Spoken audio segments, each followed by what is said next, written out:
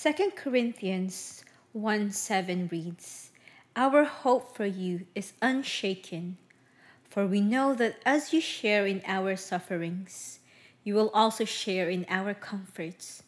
We've all been there. We have been disappointed and we failed. Graduating students who look forward to walking on the stage and experience senior nights or senior proms are not able to do so because of COVID 19. Many have lost their jobs and are anxious on how to provide for their family's daily needs. Sometimes disappointment can be more devastating than tragedy because it requires you to have invested in the outcome first. But the Bible tells us that we should rejoice in our suffering. There is only one thing we can do hope. Sometimes disappointment can't be overcome only endured. In moments like that, it's important to remember that we have hope on our side hope in Christ's love, hope for better days to come, the hope to maybe someday even try again. So when the storms of life come your way, don't let yourself be troubled. Instead, pick yourself up and remember with God there will always be hope. Let us read from Psalms 27, verses 1 to 5. The Lord is my light and my salvation. Whom shall I fear? The Lord is the stronghold of my life. Of whom shall I fear? When the wicked advance against me to devour me, it is my enemies and my foes who will stumble and fall. Though an army besiege me, my heart will not fear. Though war break against me, even then I will be confident. One thing I ask from the Lord, this only do I seek, that I may dwell in the house of the Lord all the days of my life. To gaze the beauty of the Lord and to seek him in his temple. For in the day of trouble, he will keep me safe in his dwelling. He will hide me in the shelter of his sacred tent and set me high upon a rock. Let us worship our Lord in singing.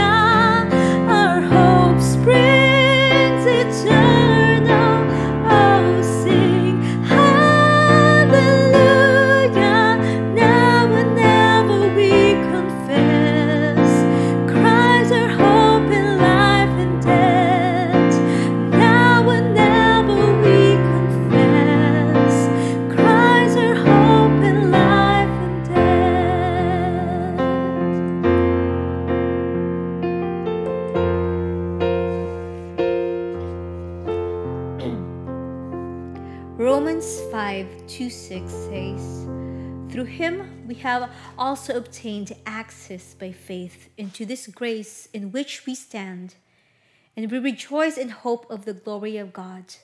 More than that, we rejoice in our sufferings. Now that suffering produces endurance, and endurance produces character, and character produces hope. And hope does not put us to shame, because God's love has been poured into our hearts through the Holy Spirit who has given to us. For while we were still weak, at the right time, Christ died for the ungodly.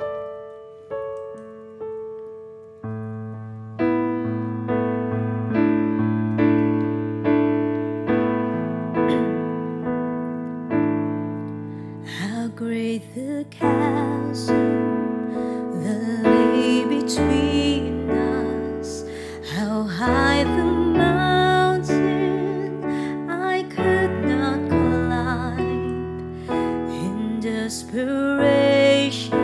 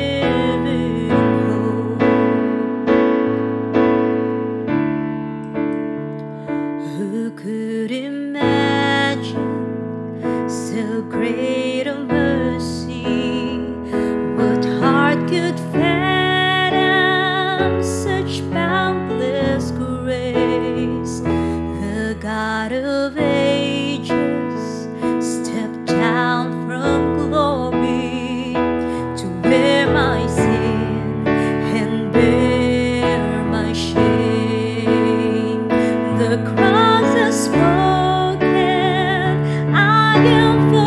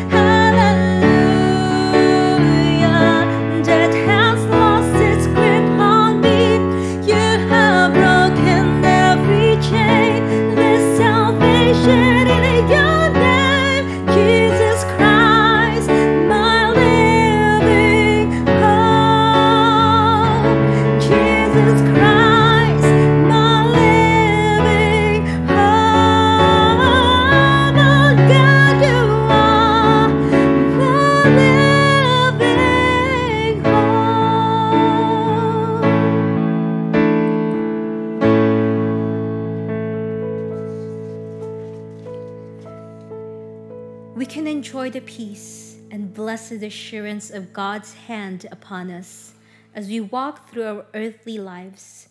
We also get to have a foretaste of glory divine, the confidence that there is something coming, that God has prepared a place for us after this life has passed. We are blessedly assured that we will either see Him appear at His second coming or meet with Him when He calls us home. How can we keep from singing when we consider all He has done for us and what it will mean to meet Him face to face?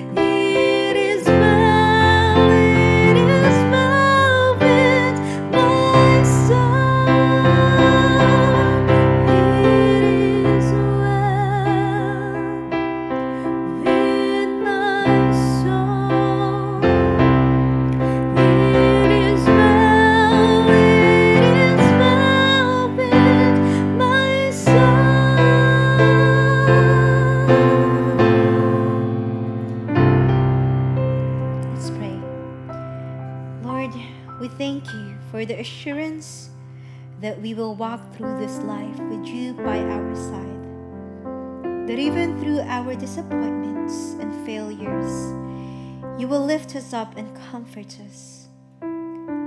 Let us be reminded that with you there is hope. I thank you that because of your Son, I have the hope of heaven and eternity with you forever.